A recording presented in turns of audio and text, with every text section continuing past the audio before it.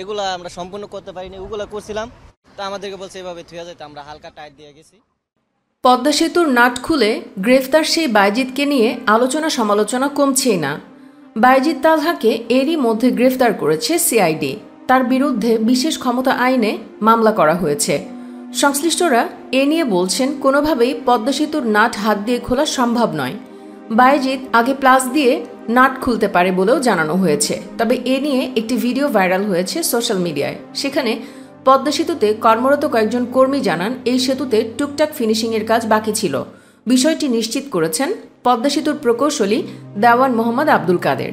Viral হওয়া এই ভিডিওতে পদ্মা সেতুতে কয়েকজন নির্মাণ শ্রমিককে দেখা যায়। তারা বলেন, নিচে ঢালাই হবে, তাই এগুলো আমরা সম্পন্ন করতে পারিনি। আমাদেরকে বলেছিল এভাবে রেখে যেতে।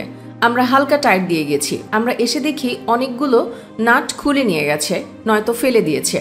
আমরা সকালে এসে লাগিয়েছি। এখন পিলারে পিলারে গাম লাগাচ্ছি আর নাট টাইট দিচ্ছি। সব চেক চলছে।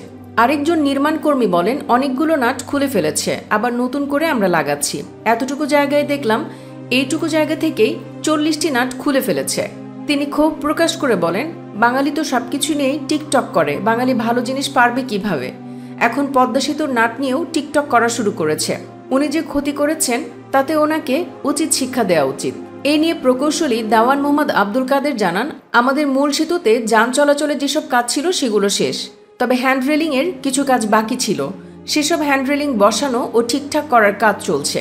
যে কোনো অবকাঠামোর ক্ষেত্রে ছোটখাটো কাজ থাকবে ঠিকাদার সব কাজ শেষ করে আমাদের সেতু বুঝিয়ে দিয়েছে। তবে আগামী এক বছর ধরে তারা ডিফেক্ট লায়াবিলিটি পিরিয়ডের কাজ করবে। এসব কাজ তারই অংশ। শ্রমিক ও প্রকৌশলীদের এমন বক্তব্যের পর সিআইডির কথা মিথ্যা প্রমাণ হয়ে যাচ্ছে বলে অভিমত অনেকের। তাদের মতে, যেহেতু নাট খোলাই ছিল, সেহেতু এটা আহামরি অপরাধ হয়নি, যার জন্য সাত দিনের রিমান্ড প্রয়োজন। হ্যাঁ ছেলেটা অপরাধ করেছে, তার জন্য মাস দুয়েকের জেল দেওয়া যেতে পারে।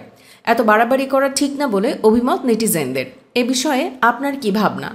আপনার মতেও নাট খোলার অপরাধে সাত দিনের রিমান্ড বাড়াবাড়ি মনে হলে হ্যাঁ আর না মনে হলে না লিখে জানিয়ে দিন আপনার রায়।